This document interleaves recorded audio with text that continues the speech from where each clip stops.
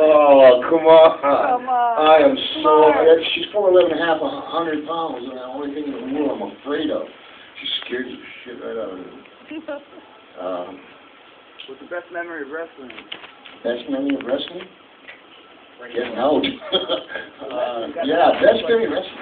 I tell you, there's a lot of them, man. Uh, I wrestled a six hundred and fifty pound bear one time. That wasn't a good memory. You know what happened? I, I didn't know. And the guy said to me, you, you're fighting Victor Bear. I didn't hear the. Victor the Bear, like Roddy Blade. And I came, was in Fresno, California. I was in this town. I was about 19 years old. I just won the light heavyweight championship of the world. I, I thought I was something. I had a black Cadillac and, Yeah. and a girl, had a girl on each arm. I had three arms in them days, man. And I come up and there's this friggin' bear. And it drank a pint of wild turkey and a Coca-Cola. And while I was looking at the bear, the trainer was telling me the rules. This guy was putting honey on my ass. It's not funny.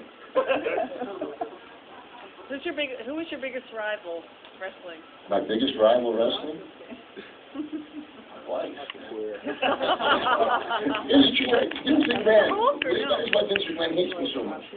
My Vince McMahon says to me, he says, he takes my wife and puts her in the limousine, and, and his wife and me and Vince go to work, and he says to my wife, I'll let you have any house in Connecticut if you let Rod live on the East Coast. And she went around all day, and we did voiceovers and came back, and uh, my wife says to him, Vince, my kids wouldn't stand a chance here. I won't take it. It's a free fucking house.